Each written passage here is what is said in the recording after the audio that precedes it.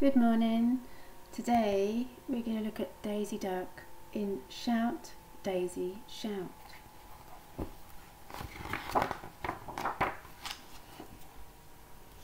Daisy loved visiting Auntie Lily's. There was always so much to play with. There were the flowers, zzz, Buzz Daisy, zzz, squeaked Pip, but the bees flew away.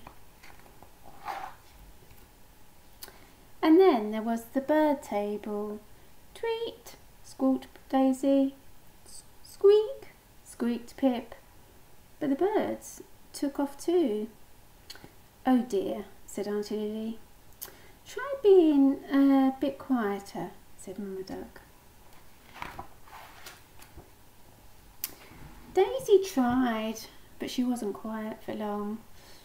She eat, eat at the mouse, and the mice ran away.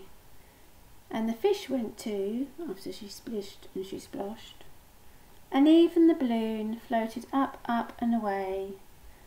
Then there was nothing to play with.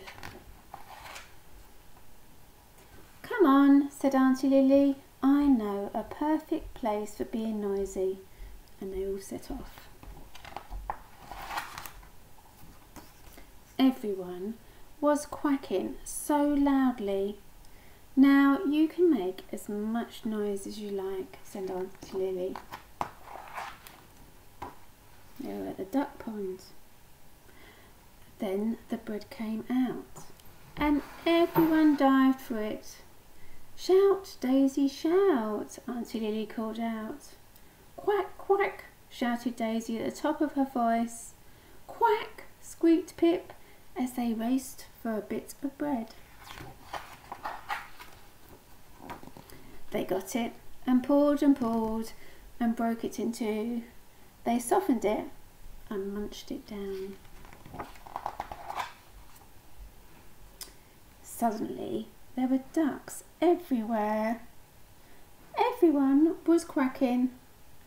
Daisy, Pip, shouted Mamma Duck. Daisy couldn't see Mamma or Auntie Lily anywhere. Where's Mamma? cried Pip. Quack, quack. Oh, all the quacking was too loud. Mamma, cried Pip. She can't hear us, says Daisy. More bread came, and everyone was pushing and shoving and shouting. Shout, Daisy, shout, cried Pip. Daisy took the deepest breath ever.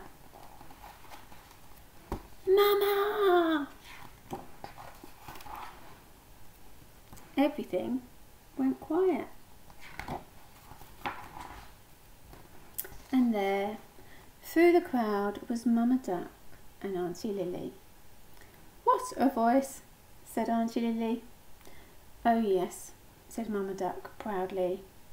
Mamma, cried Pip and Daisy, and off they went back to Auntie Lily's for a very quiet afternoon sleeping. There we are. Have a lovely summer. Okay, take care.